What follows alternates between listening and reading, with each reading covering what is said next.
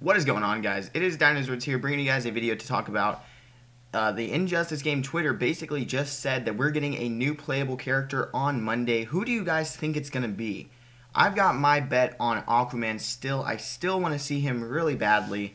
Um, I don't know about you guys, but I'm super pumped to see that guy. But, you know, it might actually be Martian Manhunter um, because the Justice League of America comic is coming out either next week or the week before, some sometime in February this comic is coming out, and it, the leader of the group or the you know league is Martian Manhunter. So I think it might be a good promotional tool to say, hey, Martian Manhunter's in the game.